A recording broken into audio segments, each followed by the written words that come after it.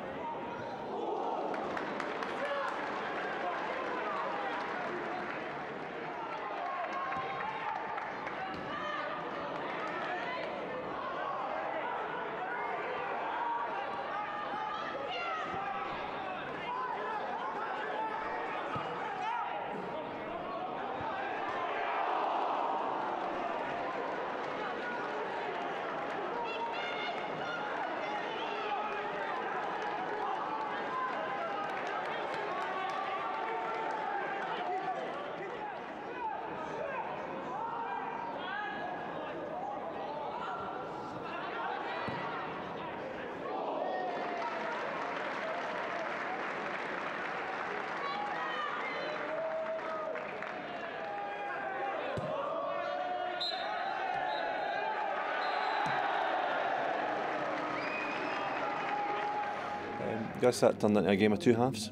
Oh, quite clearly, you know, but I don't think we can accept the performance that we got in the first 45 minutes. We made mistakes, you know, selection issues there as well that, you know, we gambled, you know, with players that have declared themselves fit, you know, and they are not trained for a couple of weeks. So we've got to take responsibility in that as well. We won't do that again. Um, but we've had to make changes as the game goes on just to shore things up because that standard of defending, you know, can't be accepted at this level of football or at any level of football, you know. And I think uh, if you if worked with youth team players, you would be trying to help them in, in those certain situations. But this, these are first team players making basic, basic mistakes, and, and they get punished today. Clyde, you know, put them under pressure in our half of the pitch, and they couldn't deal with it uh, in the first half.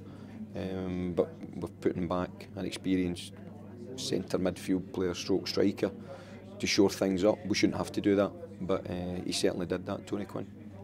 And overall, Tony showed a lot of heart and desire when he went back to centre half. He defended very, very well, you know, and he won his fair share of challenges in the air. He, he competed very well, everything that we weren't doing in the first half. And uh, as I said, we shouldn't have to do that, you know, we, but we had to. You know, it was there for us. I think we, we said to the players at half time, if you can get the first goal in the second half, who knows?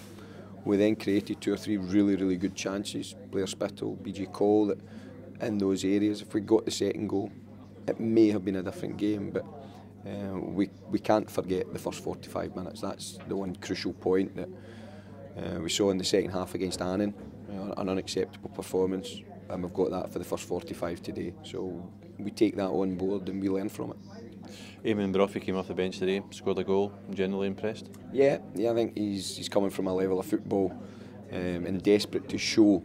You know, he's, he's capable of getting back to that level. I don't think there's any doubt. You know, we've got to be thankful to Hamilton for allowing it, uh, the deal to be done. Um, been impressed with him and his attitude as well. But um, he'll offer us something a little bit different up front, and, you know, and hopefully we can give him more supply to get more goals.